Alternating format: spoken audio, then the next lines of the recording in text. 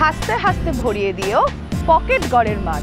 জীবন যেমন বাঁচা, তেমন কষ্ট উল্লাট এতল্লাটে আসবে যারা, লেন্সে যাদের ধরবে, হরেক জগৎ অনেক জীবন। স্মৃতির দরজা খুলবে। দরজা খুলে প্যান্ডোরাদের কষ্ট এবং কান্না। জীবন যা দিয়েই থাকে, ফিরিয়ে দিতে চায় না। কেমনটা হয় বাঁচার মানে জীবন কোন পথে যায় বেঁকে সোজা সাপটা গল্প হবে। এই তারকার থেকে।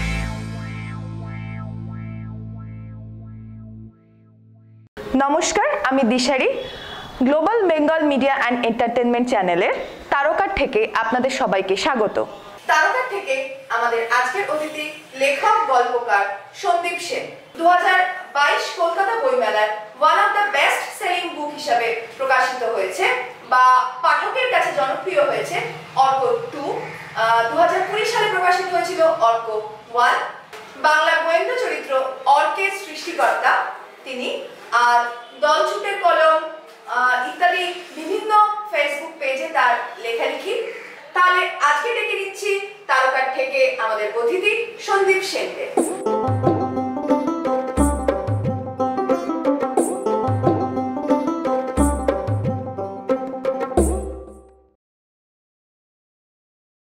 নমস্কার। তারকার থেকে স্বাগত গল্প লেখক সন্দীপ সেনকে। দু হাজার কুড়িতে প্রকাশিত হচ্ছে অর্ক এক দু হাজার বাইশে প্রকাশিত হয়েছে অর্ক দুই। One of the best selling হিসাবে এখন অবধি ডিমান্ড করছে অর্ক। অর্ক একটি গোয়েন্দা চরিত্র। কি মনে হয়, এই অর্ক চরিত্র নির্মাণের ক্ষেত্রে নিজের কোনো সুপ্ত ইচ্ছা সেখানে প্রতিফলিত হয়েছে? নমস্কার, আমি সন্দীপ সেন আর গ্লোবাল মিডিয়া এন্টারটেইনমেন্টকে প্রথমেই আমি ধন্যবাদ জানাব। এরকম একটা আড্ডার আসলে আমি ইন্টারভিউ বলব না এটাকে, ঠিক আড্ডাই আর বলব। তাদের সবাইকে ধন্যবাদ। অর্ক হলো এমন একটা চরিত্র যেটা সাধারণ মানুষের থেকে উঠে আসা একটা মানুষ।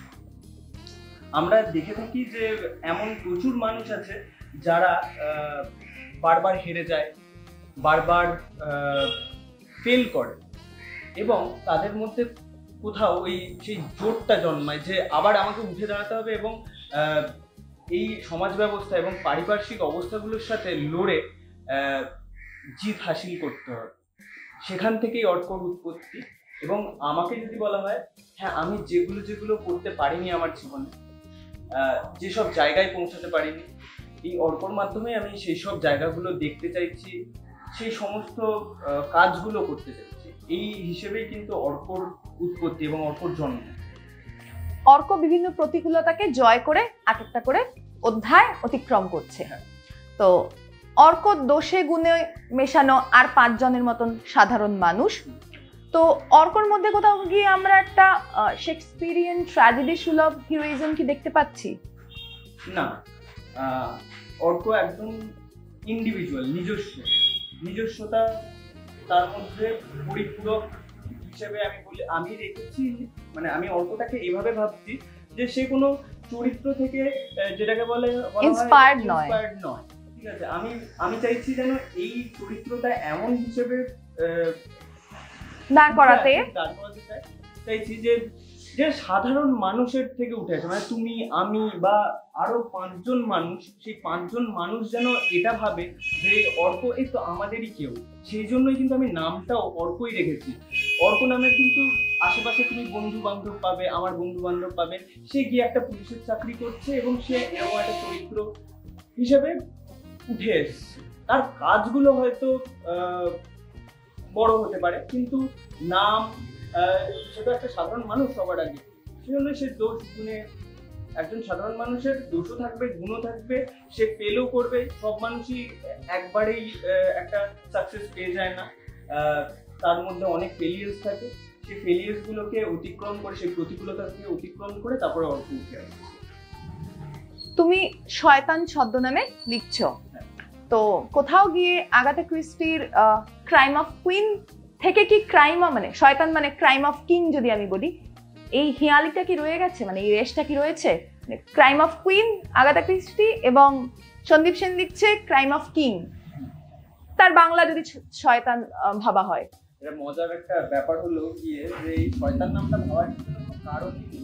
আমি অনেকবার ভেবে রেখেছি যে অনেকেই আমাকে এই প্রশ্নটা করেছে এবং আমি ভেবে রেখেছি এরপর থেকে একটা ভালো একটা উত্তর একটা বানিয়ে রাখতেই হবে, কিছু করার নেই। সত্যি কথা বলতে এটা আমার একটা ডাক নাম। যেরকম বুকা বা যেরকম এরকম একটা বাড়ির যে ডাক নাম থাকে শয়তানটা হলো আমার ডাক নাম। এবার এটা কিছু করার নেই। আমি এই নামেই তারপরে লেখাটাকে এগিয়ে নিয়ে গেছি। কোথাও গিয়ে ব্যবহার করেছি এই নামটাকে। তো এটার পিছনে কোনো কারণ নেই। আর মানে ক্রাইম অফ কিং মানে তুমি যেহেতু ক্রাইম থ্রিলার লিখছো তো সেক্ষেত্রে কি কা- মানে ক্রাইম অফ কিং হওয়ার তোমার কোথাও ইচ্ছা আছে? মানে তুমি তোমার বাড়ির নাম বাড়ির ডাক নাম শয়তান সেটাকে যখন এস্টাবলিশ করছ তার পিছনে কি এই ক্রাইম অফ কিং একদিন আমি হব? এই ধরনের কোনো ইচ্ছা? না এরকম মানে আমি প্ল্যান করে চলা পছন্দ করি না। যেরকম যেরকম এগোবে সেরকম সেরকম। আমি শুধু লিখতে চাই। এবং সেই লেখাটা যাতে মানুষের কাছে পৌঁছায় এবং মানুষ যেন ভালো বা খারাপ সেটা বলে। আমি চাই না যে সবাই ভালো বলুক আমি চাই খারাপও বলুক। আমি শুধু লিখতে চাই। এটাই আমার একটাই কাজ এবং আমি আমার আমার মধ্যে প্রচুর গল্প জমে আছে। আমি, আমার, আমি কথা বলতে পারি না খুব ভালো। আমি সুবক্তা নই। এই জন্যই আমি লিখে প্রকাশ করি আমার অনুভূতিগুলো, আবেগগুলো। আমি ছোটবেলা থেকে আমার ঠাকুমা, দাদু সবার কাছ থেকে গল্প শুনে বড় হয়েছে। এবার এত গল্প আমার মধ্যে জমে আছে সেগুলো তো বলতে হবে। আমি যদি এরকম একটা জায়গায় বসে থাকতাম এবং সুবক্তা হতাম, তাহলে আমি কি করতাম? পাঁচ ছজন বাচ্চা বাচ্চা ছেলে জোগাড় করতাম এবং তাদেরকে গল্পগুলো শোনাতাম। এটাতেই কিন্তু আমার হয়ে যায়। হ্যাঁ গল্প তো একটা পারফরমেন্স আর্টও হ্যাঁ। মানে একসময় আহ, গল্প বলাই হতো। হ্যাঁ যেরকম কথক ঠাকুর গল্প বলছেন। বলছে যদি আমার মধ্যে সেই প্রতিভাটা থাকতো তাহলে আমি ওভাবেই গল্পটা শুনিয়ে দিতাম। কিন্তু আহ, দুঃখের বিষয় যে আমি গল্প বলতে পারি না শুধু গল্প কেন আমি কথাও বলতে পারি না পাম্বাল করি। মানে একটা টাইমে মানে কি হয় প্রচণ্ড ভুলে যায় আর একটা আহ, প্রবণতা আমার মধ্যে দেখা যায়। আমি ইয়ে করতে পারি না ঠিকঠাকভাবে কথা বলতে পারি না। সেই জন্য কোথাও গিয়ে আমার মনে হয়েছে যে এই আমার মধ্যে যে জমে থাকা গল্পগুলো কাউকে তো বলতে হবে। সেই বলার বলাটাকে আমি লিখে। প্রকাশ করছি। আচ্ছা বাংলা থ্রিলার গোয়েন্দা কাহিনী মানেই এখনও হেলুদা ব্যোমকেশ কাকাবাবু রিজুদা। কোথায় বাংলার নতুন গোয়েন্দা চরিত্র? বা কি মনে হচ্ছে? নতুন গোয়েন্দা চরিত্র কি জায়গা করে নেবে? মানে আমরা গোয়েন্দা বলতেই এখনও ফেলুদার কথাই মনে আসে। কি মনে হয়? জায়গা করে নেবে অবশ্যই তো নেবে কারণ লেখালেখি তো হচ্ছে চলছে। এবং এটা মানুষকে বুঝতে হবে যে নতুন কিছুকে গ্রহণ করা। এটা তো একটা প্রসিডিওর একটা প্রসেস যে আমি যত নতুন কিছুকে গ্রহণ করব তত নতুনত্ব। পাবো। মানে যতক্ষণ না নতুন লেখকদের লেখা পড়া হচ্ছে, মানুষ যতক্ষণ না নতুন লেখকদের লেখা পড়ছেন, ততক্ষণ না কিন্তু নতুন লেখকরা এক্সপেরিমেন্ট করার জায়গাটা পাবেন না। ঠিক আছে, বোঝাতে পারছি আমি তো আমার কোথাও গিয়ে মনে হয়েছে যে সাধারণ মানুষেরও এটা বোঝা দরকার। যেরকম আমি দেখছি যে একজন পঞ্চাশ ষাট বছরের যারা একটা এজ গ্রুপ আসছেন বইমেলাতে ফেলুদা এবং ব্যোমকেশ কিনে নিয়ে যাচ্ছেন। তাহলে কি তারা পঞ্চাশ ষাট বছর ধরে ফেলুদা বা ব্যোমকেশ পড়েননি? এটা তাহলে বাঙালি পাঠকদের কোথাও বোধহয় আমার মনে হয় যে ফেলিয়ার বাঙালি পাঠকদের আমার মনে হয়েছে যে এটা হয়তো ফেলিয়ার না পড়েননি ঠিক না তারা হয়তো নিশ্চয়ই পড়েছেন। তারা আবার পরবর্তী প্রজন্মকে পড়াতে চাইছেন বা সংরক্ষণ করতে চাইছেন? এটা তো অবশ্যই এটা তো অবশ্যই ছোট ছোট ছেলে মেয়েদেরকে কিনে দিচ্ছেন। আমি ওটা বলছি না। আমি বলছি কিছু পাঠক যারা আসছেন তারা সেই ফেলুদা ব্যোমকেশই কিনে নিয়ে যাচ্ছেন নিজেদের পড়ার জন্য এবং তারা নিজেরা পড়েননি তাই পড়তে চাইছেন। তাহলে আমার মনে হয়েছে যে এগুলোকে তো পড়া উচিত এবং তার সাথে সাথে নতুন যে সমস্ত কাজগুলো হচ্ছে যে সমস্ত লেখালেখি হচ্ছে সেগুলোকেও পড়তে আমি সবাইকেই বলব বাঙালি পাঠককে বলব। আমাদের একটা হিউজ একটা পাঠক আছে আমাদের প্রচুর পাঠক আছে বাঙালি পাঠক আছে যারা ভালো বাংলা গল্প পড়তে চায় ভালো বাংলা লেখা পড়তে চায়। তো তাদের কাছে পৌঁছানোটা হলো একটা বড় কথা ফেলুদা ব্যোমকেশ কাকাবাবু রিজুদা পড়া পাঠক মানে পাঠক বাঙালি। তারা কি জেমস বন্ডের মতন চরিত্র খুঁজছেন? জেমস বন্ডের মতো চরিত্র তো আছেই মানে জেমস বন্ডই আছে তার না না বাংলায় বাংলা গোয়েন্দা গল্পে কি জেমস বন্ডের মতন চরিত্রদের চাইছেন? দরকার নেই। না না দরকার নেই কিনা জানা আমি যে চাইছেন কিনা কি মনে হয় পাঠকের পালস? পাঠক তো অনেক কিছুই চাইতে পারে মানে আমি আমার চাওয়ার একটা লিস্ট থাকে সেটা অনেক বড় হতেই পারে। কিন্তু আমার কোথাও গিয়ে মনে হচ্ছে যে দরকার নেই মানে যে যেরকম সে সেরকম। জেমস বন্ড একটি বিদেশি চরিত্র এবং বিদেশের পরিবেশে সে বড় হয়েছে। বিদেশের পরিবেশে তার আপব্রিঙ্গিংস এবং সে কি যে সমস্ত কাজগুলো করে থাকে, ঠিক আছে? সেই সমস্তভাবে সে, সেই গল্পগুলো এগোবে। আমরা ভারতীয়। ভারতের প্রেক্ষাপটে, পশ্চিমবঙ্গের প্রেক্ষাপটে কীরকমভাবে একটা চরিত্র উঠে আসছে এবং তার ওপরে যে কাজ করতে হবে সেই কাজের ওপর আমাদের বেশি ধ্যান দেওয়া উচিত।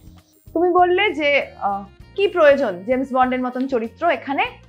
ফেলুদা চরিত্রের মধ্যে কিন্তু আমরা শার্লক হোমসের একটা প্রভাব দেখতে পাচ্ছি। তাহলে সেক্ষেত্রে জেমস বন্ডের প্রভাব কোথাও দেখা যাচ্ছে?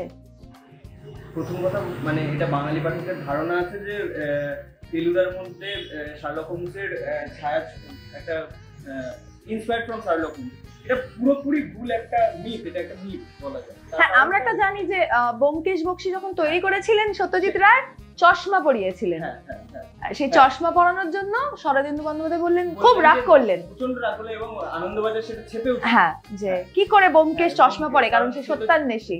চোখ দিয়ে দেখবে। তখন তিনি লিখছেন ফেলুদা। এবার তখন যে ফেলুদাটি লিখছেন তার কীর্তি কালাপ তার বসা ওঠা ইভেন আমি যদি দেখি যে ফেলুদার যে তপসে ওদিকে স্যার ওয়াটসন এই যে কম্পারিজনগুলো জেনারেলি করা হয়ে থাকে। আমি বলছি না হ্যাঁ। এই তুলনাটাই গ্রহণযোগ্য কিন্তু এই যে করা হয়ে থাকে সেক্ষেত্রে তোমার কি মনে হয় যে জেমস বন্ডের সাথে এরকম তুলনীয় কোনো চরিত্র আছে? না আমি প্রথমে এটা ক্লিয়ার করে দিই যে শার্লক হোমসের সাথে ফেলুদা নয় কেন? শার্লক হোমসের সাথে বেশি মিল পাওয়া যায় ব্যোমকেশের যদি আমরা একটু ভালো করে গল্পগুলো পড়ে থাকি শার্লক হোমস ভাবে কীরকম ভাবে পরিকাঠের দিকে তাকিয়ে বুকের ওপর ঠিক এরকম ভাবে আঙুলগুলো এরকম ভাবে কিন্তু ব্যোমকেশ বক- বক্সি ভাবেন এবং ওয়াটসন সেটা হলো অজিত। আচ্ছা। এইবার আহ, সত্যজিৎ রায় তারপরে লিখলেন দু বছর টাইম নিয়েছিলেন। প্রথম যখন যেহেতু ওনাকে হ্যাঁ, সিনেমাটা হ্যাঁ, করতে আর দিল না। দু বছর টাইম নিলেন তারপর উনি ফেলুদাটা লিখলেন। ফেলুদা লেখার পরে লেখার সময় উনি কিন্তু গুরু বলেছিলেন শার্লক হোমসকে কিন্তু উনি আরও চরিত্র নিয়ে আসলেন। ইম্পর্টেন্ট একটা চরিত্র হলো জটায়ুর চরিত্রটা। একটা কমিক সেন্স আছে। একটা তার মধ্যে একটা আলাদা একটা ইনোভেটিভ একটা আমি আমরা জিনিস দেখতে পাই। তো সেক্ষেত্রে বলা যায় যে শার্লক হোমসের সাথে আহ, ব্যোমকেশের মিল থাকতে পারে। ফেলুদার মিলটা খুবই কম। হ্যাঁ এবার জেমস বন্ড হ্যাঁ জেমস বন্ড হ্যাঁ জেমস বন্ডের মধ্যে কেন কেন মিল থাকবে না তাই না না জেমস বন্ড চরিত্রের এরকম কি বলব তুলনামূলক আলোচনা করা যাচ্ছে বা কি মনে হয় যে কোন চরিত্রটা খুব কাছাকাছি জেমস বন্ডের মানে ওই ড্যাশিং কি বলব অ্যাক্টিভিটি আচ্ছা। সেটা সেটা কি শুধু বিদেশ বললেই সম্ভব ওইভাবে ভাবা এখানে সম্ভব না? সম্ভব? মানে এই যে থ্রিলার হ্যাঁ, আমার কিন্তু ব্যক্তিগতভাবে আমি একদম পাঠক হিসেবে বলছি যে থ্রিলার সেন্সটা অনেক বেশি জেমস বন্ড দেয় আচ্ছা। মানে তার যে এই দৌড় ঝাঁপ কথাবার্তা থ্রিল শব্দটা যদি আমি বলি আর মানে রহস্য হ্যাঁ ব্যোমকেশ দেন না তা না শান্ত ধীর স্থির সত্যান্বেষী হ্যাঁ। এই যে পার্থক্যটা আমি বলছি এই পার্থক্যটা কি বাংলা গোয়েন্দা গল্পে এখনও রয়েছে না পরিবর্তিত হচ্ছে না এরকম থাকবে আর এই পার্থক্যটা থাকা উচিত তার কারণ ওটাই বললাম যে ভারতবর্ষ একটা আলাদা দেশ আলাদা আমাদের সংস্কৃতি আলাদা আমাদের কার্যকলাপ ঠিক আছে বিদেশের সাথে তো আমাদের কি বলে ওটাকে মানে আমি একটা ছোট্ট কথা বলব হ্যাঁ, হ্যাঁ, হ্যাঁ। নভেল। উপন্যাস। গল্প এই ধারণা বা এই রীতি অবয়ব। যেটা আমরা দেখছি। লিখিত সাহিত্য হিসেবে সেটা তো মানে বঙ্কিমচন্দ্রের হাত থেকে যদি আসে নভেল এই কনসেপ্টটাই এসছে ওয়াল্টার স্কটে স্কটল্যান্ডের ঐতিহাসিক প্রেক্ষিতে লেখা হচ্ছে নভেল। সেটাকে নিয়ে তার আগে প্রাচ্য আখ্যাননীতি যেটা ছিল নামা হ্যাঁ। কথকথা হ্যাঁ। এই ভঙ্গি ছিল মঙ্গল কাব্য হ্যাঁ। তো সেখানে যে প্যাটার্ন। সেটা তো নভেলের প্যাটার্ন নয় মানে আমরা অলরেডি অ্যাডাপ্ট করে নিয়েছি নভেলের প্যাটার্ন মানে উপন্যাস বলছি আমরা বাংলা উপন্যাস নভেলকে প্রতিশব্দ হিসাবে উপন্যাস দ্বারা প্রতিস্থাপিত করছি। কিন্তু উপন্যাস কিন্তু ভারতীয় নয় একদম ইন্সপায়ার্ড হ্যাঁ। তো সেক্ষেত্রে দাঁড়িয়ে যে এই ইন্সপিরেশনটা যে বাঙালি গ্রহণ করেছে হ্যাঁ। সে বাঙালির কোথায় দ্বিধা জেমস বন্ডকে গ্রহণ করতে? দ্বিধা থাক দ্বিধাটা থাকা উচিত তার কারণ মানে এটা তো একটা প্যাটার্নকে কপি শুধু pattern না, মানে আমি বলব যে- সরি কপি কথাটা একদম বলা ভুল ইন্সপিরেশন নিয়েছে। ঠিক আছে? সে তো একটা প্যাটার্নকে যদি আমি যেরকম ভাস্কর বাবু যেরকম লিখছেন বা শক্তি চট্টোপাধ্যায় যেরকম লিখছেন বা মাইকেল মধুসূদন যেরকম লিখে গেছেন ঠিক আছে? সেই প্যাটার্নগুলোকে আমরা অনুসরণ করতে পারি। কিন্তু অনুকরণ করাটা আমার মনে হয় না। অনুকরণ না চরিত্র নির্মাণের ক্ষেত্রে আমি বলছি। আমার একদম চরিত্র নিয়ে প্রশ্ন। একটা জিনিস বলি আমাদের কলকাতার রাস্তা ঠিক আছে? আর এটা হলো আহ, আমেরিকার একটা কোনো আমি একটা রাস্তা ধরে নিই, ঠিক আছে? আমেরিকার আমি আমি এবার আমেরিকার মতো করে একটা চরিত্র আমি বানিয়ে নিলাম এবং তাকে ফেলে দিলাম ভারতবর্ষে এই কলকাতার এই ঘিঞ্জি গলিগুলো। কীরকম লাগে তুমি বলতে চাইছো যে অ্যাম্বিয়েন্স অনুযায়ী চরিত্রের চাহিদা বা চরিত্রের উপস্থাপনা। বেশ। আহ, পরবর্তী প্রশ্নে যাচ্ছি। তোমার প্রথম আত্মপ্রকাশ বা আমি বলতে চাই যে তোমার প্রথম প্রকাশিত হচ্ছে কবিতা দিয়ে। তুমি কবিতা লিখছো না। এখন আর? আর তোমার যে দলছুটের কলম সেখানেও গল্প লেখা বা গল্প পড়ার প্রতি পাঠককে উৎসাহিত করা হচ্ছে। কেন কবিতা নয়? কারণ আমার মনে হচ্ছে কবিতা প্রচুর হচ্ছে গল্প হচ্ছে না গল্প নিয়ে কাজ হচ্ছে না ব্যক্তিগতভাবে এটা আমার মতামত। তাই আমরা চাইছি যে যাতে পাঠক একটু ধৈর্য সহকারে আহ, গল্পটাও পড়ে। উপন্যাসও পড়ে উপন্যাসের দিকে ঝোঁকে। যেরকম ওই টেস্ট ক্রিকেট টেস্ট ক্রিকেট আমরা দেখে বড় হয়েছি। সেটা কালক্রমে এখন টোয়েন্টি টোয়েন্টিতে তারপর টেন টেন টেন ওভারদেরও এখন ক্রিকেট হয় দুবাই। একদম। হ্যাঁ তো আমরা চাইছি যে টি টোয়েন্টিটা থাকুক অবশ্যই অসুবিধা নেই। কিন্তু তার সাথে টেস্ট ক্রিকেটটাও থাকুক। এর একটা আলাদা মজা একটা মানে মানে বাঙালির তো এটা একটা আহ, অভ্যাস ছিল একটা সময় যে দুর্গাপুজোর সময় বা নববর্ষের সময় একটা ধারাবাহিক উপন্যাস বেরোচ্ছে এবং সেটাকে পড়া, নতুন উপন্যাস কি আসছে সেগুলোকে নিয়ে পড়- পড়া এবং ভাত খেতে খেতে সেগুলো নিয়ে আলোচনা করা পাড়ার রকে বসে সেসব নিয়ে আলোচনা করা বা কোনো একটা সিনেমা দেখে এলাম সেটা নিয়েও আলোচনা করা। তো এই এই যে এই আলোচনা, এই আলোচনাটাকে আমরা চাইছি যাতে বাঙালি নিজেদের মধ্যে আবার ফিরে পাক। মানে আমরা চাইছি যাতে বাঙালি বড় গল্প পড়ুক, ধৈর্য নিয়ে পড়ুক। একটু বসুক বইটা একটু খুলুক, বইটা খুলে ঘণ্টার পর ঘণ্টা সেটার সাথে একটু সময় কাটাক। হ্যাঁ এখন সবাই ওয়ার্কিং মানে সবাই কাজ করে এবং একটা টাইট শিডিউল থাকে সারাদিনে। এবং সেই সময়ের মানে অফিসের কাজ ছেড়ে একটা বিরাট একটা সময় দেওয়া যায় না। তো দরকার নেই অফিস থেকে ফিরে ফ্রেশ হয়ে গা হাত পা ধুয়ে, সুন্দরভাবে বসে ফ্যানটাকে চালিয়ে এক ঘণ্টা পড়ল, পরের দিনকে আবার এক ঘণ্টা পড়ল যে রোজকার যে প্রসেস মানে মানে পড়ার পড়ার যে অভ্যাস। সেই অভ্যাসটা যেন বাঙালি বজায় থাকে সেই জন্যই আমরা গল্পতে বেশি পড়ার অভ্যাস কি কবিতা পড়ার মধ্যে দিয়ে ধরা যায় না? কি মনে হয়? বা বর্তমান মানে তোমার বাংলা কবিতার প্রতি আমি কি অনীহা শব্দটা ব্যবহার করব? আহ, অবশ্যই অনীহা তো বটেই মানে আমার কথাবার্তা কিন্তু সেটা মনে হচ্ছে মানে বাংলা কবিতার প্রতি অনীহা জন্মেছে। তার কারণ একটাই যে চারিদিকে প্রথম কথা ফেসবুক খুললেই আমি কবিতা দেখতে পাই, এবং সেগুলোর মাথা মুন্ড আমি কিছু বুঝতে পারি না। হয়তো আমার এটা অজ্ঞতা মানে আমি হয়তো মূর্খ, তাই আমি বুঝতে পারি না। তাই আমার কোথাও গিয়ে অনীহা জন্মেছে, অবশ্যই জন্মেছে, যে এত কবিতা কেন? মানে কবিতা কবিতা কবিতা কবিতা, একটা ফিড খুললেই কবিতা, যে পারছে কবিতা লিখছে। মানে আমার আমার কোথাও গিয়ে আমরা যখন ছোট ছিলাম, তখন শুনতাম যে কবিতা আসে, কবিতা জোর করে লেখা যায় না। কিন্তু এখন মানে এমন হয়েছে ব্যাপারটা যে বলবে হয়তো যে তুমি কবিতা লিখতে পারো না, তাহলে তোমার সাথে আমার মেয়ের বিয়ে দেবো। এরকম একটা ব্যাপার হয়েছে। আচ্ছা পরবর্তী প্রশ্নতে যাচ্ছি। তোমার যে বই প্রকাশ হচ্ছে, ছাপার অক্ষরে মুদ্রিত দেখতে পাচ্ছি হাতে, তো এই ই বুকের যুগে ইন্টারনেটের এত রমরমা, তুমি নিজেও ফেসবুক পেজে যথেষ্ট সক্রিয়। কি মনে হয় যে প্রকাশনা মানে প্রকাশিত বইয়ের বিক্রয় কীভাবে হচ্ছে? এবং প্রকাশনী সংস্থাগুলি যে ধুঁকছে, বই পাড়া ধুঁকছে, এই যে একটা কলরব বা আলোড়ন, সেটা কতটা সত্যি? বা তোমার বই কিরম মানে তোমার বই বিক্রয়ের মধ্য দিয়ে তুমি কি অনুভব করলে? এটা একটা, এটা নিয়ে আমি অনেক প্রচুর কথাও বলেছি যে মানুষ যেভাবে নেবে, সেভাবেই আর কি পৃথিবীটা এগোবে। মানে আমি এটা বলছি যে এখন মানুষ বই পড়ছে কাগজের ছাপা অক্ষরে বই পড়ছে। যেদিনকে মানুষ ছাপা অক্ষরে বই পড়বে না যেদিনকে প্রিন্ট মিডিয়াতে প্রিন্ট মিডিয়া আরও সক্রিয়ভাবে ঢুকে যাবে সেদিনকে এটা বাতিল হয়ে যাবে এবং প্রিন্ট মিডিয়াতেই পড়বে বা পিডিএফ পড়বে বা যাই হোক ইবুক মানে ইলেকট্রনিক্স মিডিয়া থেকে প্রিন্ট মিডিয়া চলে change is the only constant মানে পরিবর্তন তো হবেই। এবার প্রশ্ন হলো যে বই বিক্রি আমাদের কিন্তু, আমি আগেই বলেছি যে বাঙালি প্রচুর, বাংলায় কথা বলে এবং বাঙালি প্রচুর পাঠক সংখ্যা আছে। তার মধ্যে থেকে যদি এক কোটি লোক বাংলা বই পড়ে না, আমি এটা মানতে পারব সবার বাড়িতে বাংলা বই আছে। যার বাড়িতেই যাবেন, বাংলা বই আছে। কোথাও গিয়ে এটা লেখকেরও ফেলিয়ার যে সে হয়তো নতুন কিছু দিতে পারছেন না, তাই পাঠক পড়তে পারছেন না। আবার কোথাও গিয়ে পাঠকেরও একটা দোষ আছে যে সে নতুনদের লেখা পড়ছে না। এবং নতুনদের লেখা পড়ছে না বলেই নতুনরা এক্সপেরিমেন্ট করতে পারছে না। মানে এটা হলো একে অপরের পরিপূরক। পাঠক এবং লেখক সবসময় একে অপরের পরিপূরক। বই পাড়া ঢুকছে। বই পাড়া ঢুকছে তার কারণও আছে।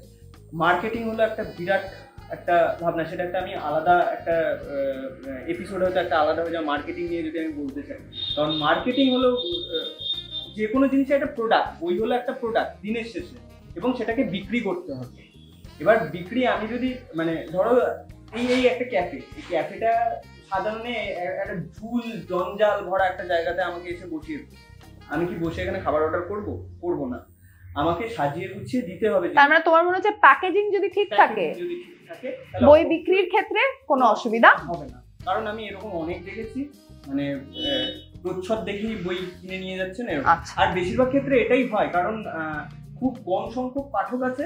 এটা কি করে সম্ভব? মানে একজন পাঠক বইমেলাতে ঢুকলেন বা বইয়ের দোকানে ঢুকলেন তিনি কিছু ডিসাইড করেননি আগে থেকে যে কি বইটা কিনবেন? জাস্ট প্রচ্ছদ ভালো লাগছে কিনে নিয়ে ভালো লাগল নিয়ে নিল। বা কেউ পাতা উল্টে দেখল আচ্ছা পেজগুলো তো খুব ভালো ঠিক আছে বা বেশ এটা কি সঠিক মূল্যায়ন করা হচ্ছে তাহলে? সেটা নির্ধারণ করা আমি কেউ নই। ব্যক্তিগতভাবে যদি বলা হয় তাহলে এটা এটা এটা মানে এটা- এটার মধ্যে আমি প্রশ্নটা করব তাহলে কীভাবে সে বাঁচবে। কারণ ওইখানে দাঁড়িয়ে তো বইটা পড়া সম্ভব নয় পাঠকের পক্ষে। দোকানদার তাড়িয়ে দেবে বলবে যে, তুমি এখানে এসে আমার বিজনেসটাকে নষ্ট করছ, তুমি আমার ব্যবসাটাকে নষ্ট করছ, তুমি এখানে দাঁড়িয়ে বই পড়ছো। তাড়িয়ে দেবে। সেটাই আমার কোথাও গিয়ে মনে হয় যে এটা উচিত যে যারা প্রকাশক তাদের উচিত যে যখন পাণ্ডুলিপিটা পাচ্ছেন হাতে, সেটাকে যত্ন সহকারে সম্পাদনা করা। সম্পাদনা এই কথাটা এখন বাংলা সাহিত্যে বোধহয় আছে বলে আমার মনে হয় না। মানে সম্পাদক, সম্পাদনা করাটা হলো একটা সত্যি কথা বলতে গেলে আর্ট কিন্তু। মানে কীভাবে সম্পাদনা করতে হয়। সেই সম্পাদনাটা যদি সঠিকভাবে করে থাকে এবং তারপরে বইয়ের প্রচ্ছদ, বইয়ের কাগজ, বইয়ের বিজ্ঞাপন, এই সমস্ত কিছু নিয়ে একটা বই হয়। একটা প্রোডাক্ট হয় এবং সেটা পৌঁছে দিতে হয় পাঠকের কাছে। আমার মনে হয় সবার আগে যে কন্টেন্ট যেটা মানে আর কি গল্প বা কবিতা যেটা যাচ্ছে সেগুলো যেন গুণগত মান যেন খুবই ভালো করে তারা পরখ করে দেখেন। যাতে একটা পাঠক যখন নতুন কারোর বই কিনছে আচ্ছা ঠিক আছে এই তো ভালো লিখছে তাহলে আমি এর আরও আরও একটা বই কিনবো। এই এইভাবেই তো চেন ওয়াইজ বাড়তে থাকে। এই যে তুমি বলছো বই বিক্রয়ের ক্ষেত্রে বা বইয়ের ব্যবসার ক্ষেত্রে তার গুণগত মান তার ওভারঅল প্যাকেজিং এটা ঠিক থাকলেই পাঠকের কাছে লেখকের পৌঁছতে আর কোনো বাধা নেই।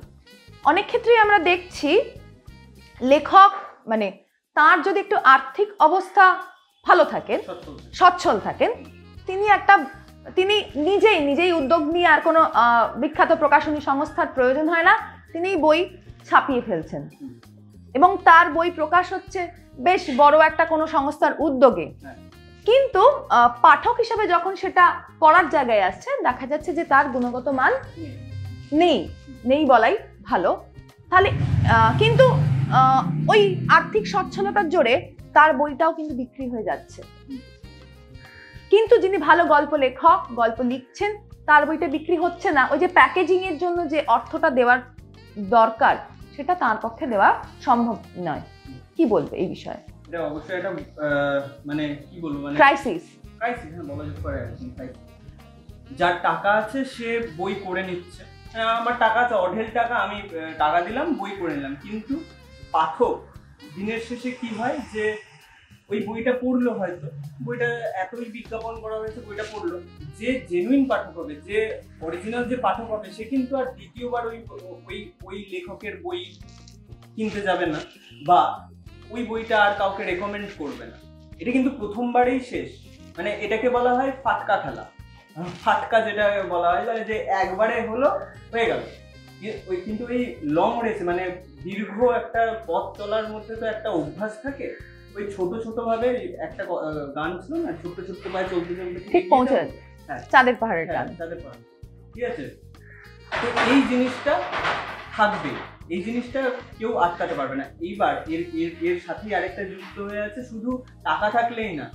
ফেসবুকে যার ফেস ভ্যালু একটা আছে ক্রিয়েট হয়ে যাচ্ছে বা যার ফেসবুকে এই যে ভ্যালুটা একটা ক্রিয়েট হচ্ছে কি করে? কোথাও গিয়ে পাঠকরা হয়তো ওই ধরনের কিছু সংখ্যক পাঠক আমি বলব খুব কম সংখ্যক মানে ফেসবুক কজন মানে যারা সেলিব্রিটি আমি বলব যে তথাকথিত সেলিব্রিটি এবং ভালো লেখা লেখেন। যারা ফেসবুকে আছেন এবং ভালো লিখছেন তাদের লেখায় কত লাইক অ্যান্ড শেয়ার করে দু হাজার তিন হাজার দু হাজার তিন হাজার কটা সংখ্যা? তাহলে কি মানুষের রুচির হ্যাঁ। ক্রম অবনতি হচ্ছে? রুচির অবনতি বলব না। এবার একটা এই জিনিস একটা আছে আমার একটা উত্তর আছে। মানে প্রতিদিন যদি কাউকে ডাল ভাতেই অভ্যাস করে দেওয়া হয় তাহলে সে বিরিয়ানির মূল্যটা কি করে বুঝবে? আর বুঝবে না। সে ডাল ভাতটা খেতে খেতেই অভ্যস্ত। যেরকম পড়াটা আমরা কিন্তু ওই যখন আমরা স্কুলে পড়তাম মনে আছে যে দিনে আমাদের ছ ঘণ্টা থেকে সাত ঘণ্টা স্কুলে থাকতে হতো ঠিক আছে? কেন এই অভ্যাসটা? তার কারণ স্কুল ছাড়ার পর আমাদেরকে একটা পরীক্ষা দিয়ে চাকরি করতে হয় এবং সেখানে একটা আট থেকে ন ঘণ্টা বসে থাকতে হয়। এটা কিন্তু ওই অভ্যাসটা ছোট থেকে। মানে স্কুলে গিয়ে আমি শুধু A plus B whole square শিখি না। আমরা কেউই একটা অভ্যাস আয়ত্ত করি। আয়ত্ত করি। যে আমরা যখন খেলার মাঠে খেলতে যাই তখন কি আয়ত্ত করি? যে শুধু কি ওই কীভাবে কভার ড্রাইভ মারতে হবে কীভাবে স্ট্রেট ড্রাইভ মারতে হবে সেটা না? একসাথে থাকতে হবে। একসাথে বোঝাপড়া সামনের মানুষটার সাথে আমার বোঝাপড়া কীরকম? টিম গেমে ঠিক আছে? এই জিনিসগুলো সব কিন্তু ওই অভ্যাসের দিয়েই হয়। এবার যখন সে ভালো ভালো ছোট থেকেই ভালো ভালো লেখা পড়তে থাকবে তখন কিন্তু সে ভালো লেখাটাই পড়বে। সে কিন্তু খুঁজে ঠিক বার করে নেবে। আসল পাঠক কিন্তু খুঁজে ঠিক বার করে নেয় যে কোন লেখাটা ভালো কোন লেখাটা খারাপ। আরেকটা প্রশ্ন আনন্দবাজার পত্রিকার একটি উপন্যাস সংখ্যা প্রকাশিত হয়েছে। হ্যাঁ। তার প্রথম যে উপন্যাসটা লেখা আছে রবীন্দ্রনাথ ঠাকুর দিয়ে শুরু করছে? ল্যাবরেটরি ল্যাবরেটরিকে রবীন্দ্রনাথ নিজেও তো উপন্যাস বলেননি। যাই হোক উপন্যাস পড়ছি। উপন্যাস হিসেবে আমরা পড়িনি। এটা বড় গল্প। হ্যাঁ, মানে গল্প। মানে কলকাতা বিশ্ববিদ্যালয় কিন্তু এখনও গল্পের মধ্যেই তাকে রেখেছে পড়ানোর জন্য বাংলা সিলেবাসে সেটাকে উপন্যাসের প্রথম লিখছেন এমন একটা প্রকাশনী সংস্থা যারা মানুষের রুচি নির্ধারণ করছে বা বলা ভালো ছোটদের বলা হচ্ছে যে অমুক প্রকাশনী সংস্থার আনন্দর বই পড়ো। পড়তে হয় নাহলে পিছিয়ে পড়তে হয়। তো তারা যদি এই ভুল ইনফরমেশনটা দেয় তাহলে বাংলা গল্প লেখক হিসাবে কি মনে হয়? কোথায় দাঁড়িয়ে বাঙালি পাঠক? খুব খারাপ লাগে এগুলো যে এরকম ভুল হওয়া উচিত নয় এরকম একটা বড় সংস্থার কাছ থেকে। কারণ আনন্দ মানে বাংলা বাজারে আমরা বই কিনতে যাই কার বই? আনন্দ। আনন্দকে এক ডাকে সবাই চেনে। আনন্দ যে ওই ত্রিফলা যে লোকটা আমরা সবাই দেখেছি। ছোট থেকে বড় হয়েছি বড় বড় লেখকরা লিখে গেছেন সেই সমস্ত। তাদের পত্রিকাগুলোও আমরা পড়েছি কিনে পড়ি আনন্দ মেলা আছে আরও প্রচুর যেগুলো আছে। তো তাদের এই- ভুলটা করা উচিত হয়নি। হয়তো তাদের এডিটোরিয়াল কোনো এটা ল্যাপ যাই হোক। হ্যাঁ এডিটোরিয়ালি ভুল এটা এটা এখানে কোনো ডিপ্লোমা হ্যাঁ তুমি সম্পাদনার কথা বললে তারপরে বাংলা কি পড়ছি ঠিকঠাক। তো আমাদের দেওয়াই হচ্ছে এটা। হ্যাঁ মানে- শিখছি ওই জন্য আর ওই জন্যই ওই হ্যাট শিল্পটাকেই লেখা হিসেবে করে নিচ্ছি। বর্তমানের পছন্দের থ্রিলার গল্প লেখক এবং থ্রিলার চরিত্র। বর্তমানে কেউ নেই আপাতত। তাহলে তোমার পছন্দের থ্রিলার লেখক? আমার পছন্দের ছিল লেখক সত্যজিৎ রায়। এটা মোটামুটি আমার বন্ধু আশেপাশে সবাই মানে ফেলুদা। তা ফেলুদার কি কোনো প্রভাব অর্কের মধ্যে পড়েছে? অর্ক তুমি বারবার বলছো সে আর পাঁচজনের মতন সাধারণ মানুষ। ফেলুদার প্রভাব পড়েনি। ফেলুদার একটা চরিত্র আছে একটা দৃঢ়তা আছে। চরিত্রের মধ্যে যে দৃঢ়তাটা আছে সেটুকু আমি রেখেছি। কিন্তু আলাদা কোনো প্রভাব আমি রাখিনি ইচ্ছে করেই রাখিনি। কারণ আমি কখনোই এটা চাই না যে এটা বলা হোক যে এটা ইন্সপায়ার্ড ফ্রম ফেলুদা বা ইন্সপায়ার্ড ফ্রম ব্যোমকেশ বক্সি আমি নিজের মতো করে একটা চরিত্রকে সৃষ্টি করতে চেয়েছি। থ্রিলার লিখছো সাসপেন্স গল্প লিখছো। তো এই লেখার ক্ষেত্রে কোন বিষয়কে বেশি গুরুত্ব দিচ্ছ? বা মনে হচ্ছে যে গোয়েন্দা গল্প লেখার জন্য এই বিষয়টাকে গুরুত্ব দেওয়া আবশ্যিক? প্রথম কথা যেটা গুরুত্ব দিচ্ছি সেটা হলো প্লট গল্পের বিষয়বস্তু। এটাকে আমি সবসময় গুরুত্ব দিই। তারপরে চরিত্রায়ন। আর তারপরেই যেটা আমি গুরুত্ব দিই খুব বেশি করে গুরুত্ব দিই যে আমি যখন গল্প লিখি আমি চেষ্টা করি যে আমার গল্পটা যখন কেউ পড়বে সে যেন চোখের সামনে সেই দৃশ্যটা দেখতে পায়। আমি এরকম ইমেজারি তৈরি করা। হ্যাঁ সেই দৃশ্যটা দৃশ্যায়নটা যেন প্রস্ফুটিত হয় লেখায়। ঠিক আছে? আমি এটা চেষ্টা করি। এবং সেই সেই কারণের জন্যই আমি কিছু কিছু যে সমস্ত দৃশ্যগুলো খুবই ভাইটাল দৃশ্য যে সমস্ত গুরুত্বপূর্ণ দৃশ্য সেই দৃশ্যগুলোর আমি ছবি নিজেই আনি আচ্ছা। ঠিক আছে? শুধুমাত্র সেই জন্য। হ্যাঁ এটা বলা যেতে পারে এটা একদম ইন্সপায়ার্ড বাই সত্যজিৎ রায়। তাহলে শেষ করছি আজকের তারকার ঠেক। আবার দেখা হচ্ছে নতুন পর্বে নতুন তারকার সাথে। ততদিন সুস্থ থাকুন আর দেখতে থাকুন গ্লোবাল বেঙ্গল মিডিয়া অ্যান্ড এন্টারটেনমেন্টের ইউটিউব চ্যানেল নমস্কার।